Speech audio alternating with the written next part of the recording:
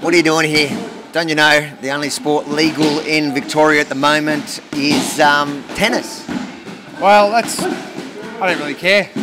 That's that's to sum it up. Yeah, I don't really care. Okay, let's have a look.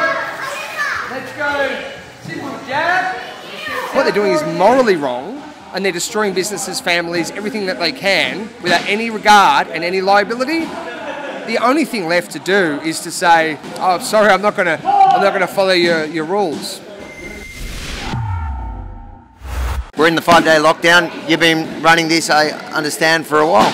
I've run it the whole time. Yeah, I haven't closed. We've actually gone all out to try and educate people as to what their rights are and how the government doesn't have the right to shut businesses down without accepting liability for those businesses. Think of all those uh, restaurants that have been shut down.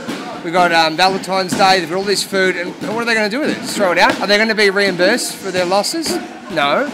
So um, I think people need to just stand up to them and say, no, no, unless you accept liability for all my losses, compensate me for my losses, um, and make restitution, there's no way that I'm going to follow any obligation that's man-made to shut my business down.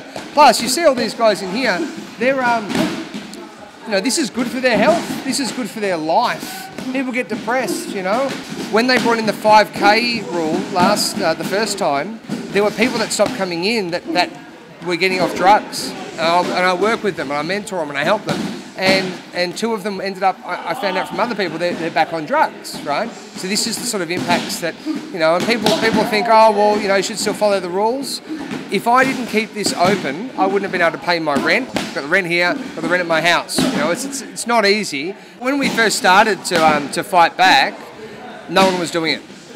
And now we're, um, you know, we, we see that people have seen that myself and, and a few others have, have we're still here. We're still going. We're still opening our businesses. The fines aren't worth the paper that they're, that they're printed on.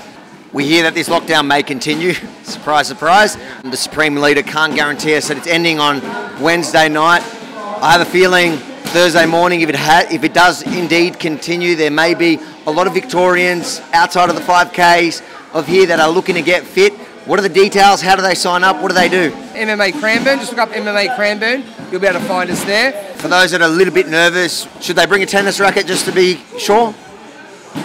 Maybe, or maybe just put some fruit there at the front and say you're selling fruit. But uh, but I, think I think the best thing is to be be honest and be what you are, because basically you've got government officials that are hypocrites, right? Now, if I know something's wrong, but I still go along with it, I become a hypocrite. I don't want to be a hypocrite, and they can't compel me to be a hypocrite. If I know something's wrong and I go along with it, I become a second witness to the lie, right? So I don't want to be a second witness to a lie. I don't want to be a liar. I don't want to lose my integrity out of fear. And the police, what are the police doing? They're going around causing fear in people. They want you to be scared. I mean, I had an interaction with the police, 22 police out the front, and a member of the DHHS. But we were able to, we, we, we had that, we won that battle. They left us alone because we, uh, we knew our rights. If you enjoyed this report, make sure to like, comment, and share.